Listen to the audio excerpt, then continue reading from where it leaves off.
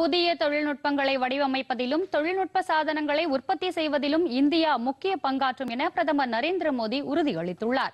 புதுதில்லி பிரகதி மைதானத்தில் இன்று நடைபெற்ற நிகழ்ச்சியில் ஃபைவ் ஜி அலைக்கற்றை சேவையை தொடங்கி வைத்து பேசிய பிரதமர் நூற்று முப்பது கோடி இந்தியர்களுக்கும் ஃபைவ் ஜி அலைக்கற்றை இணைய சேவை சிறந்த பரிசு என்று கூறினார். இதன் மூலம் தொலைத்தொடர்பு துறையில் எண்ணற்ற புதிய வாய்ப்புகள் ஏற்படுத்தப்பட்டுள்ளதாக அவர் தெரிவித்தார்.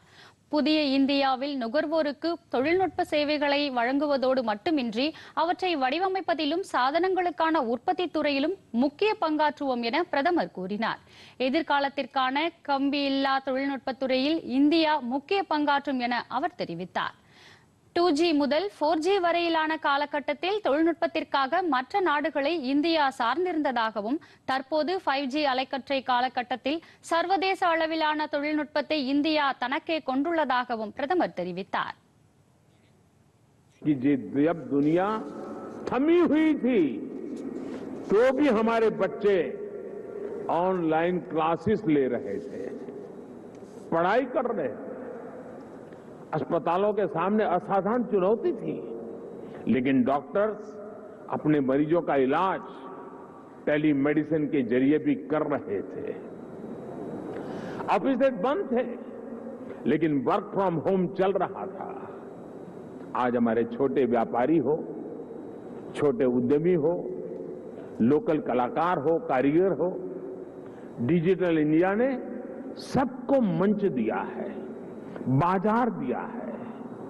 आज आप किसी लोकल मार्केट में, आप सब्ज़ी मंडी में जाकर देखिए रेडी पटरी वाला छोटा दुकानदार भी आपसे कहेगा, कैश नहीं है यूपीआई कर दीजिए।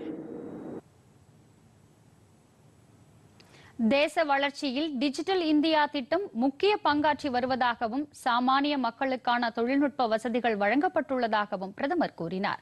கடந்த காலங்களில் சாமானிய மக்கள் டிஜிட்டல் தொழில்நுட்பத்தை பயன்படுத்துவது குறித்து சந்தேகம் இருந்ததாகவும் ஆனால் தாம் எப்போதும் சாமானிய மக்களால் தொழில்நுட்பங்களை பயன்படுத்த முடியும் என்ற நம்பிக்கையை கொண்டிருந்ததாகவும் பிரதமர் தெரிவித்தார். நாடு முழுவதும் டிஜிட்டல் பண பரிவர்த்தனை எளிமையாக்கப்பட்டுள்ளதாகவும் மக்களை மையப்படுத்திய டிஜிட்டல் சேவைகளை அரசு ஊக்குவிப்பதாகவும் இதன் வாயிலாக விவசாயிகள் முதல் சாமானிய சிறு வணிகர்கள் வரை அனைவரும் தொழில்நுட்பத்தால் பயனடைந்துள்ளதாகவும் பிரதமர் கூறினார். மத்திய அரசின் நடவடிக்கைகளால் இ- இணைய சேவைக்கான கட்டணம் குறைக்கப்பட்டுள்ளதாகவும் மக்களின் வாழும் முறையை எளிமையாக்கும் நோக்குடன் இணைய சேவையை வழங்கி வருவதாகவும் பிரதமர் தெரிவித்தார்.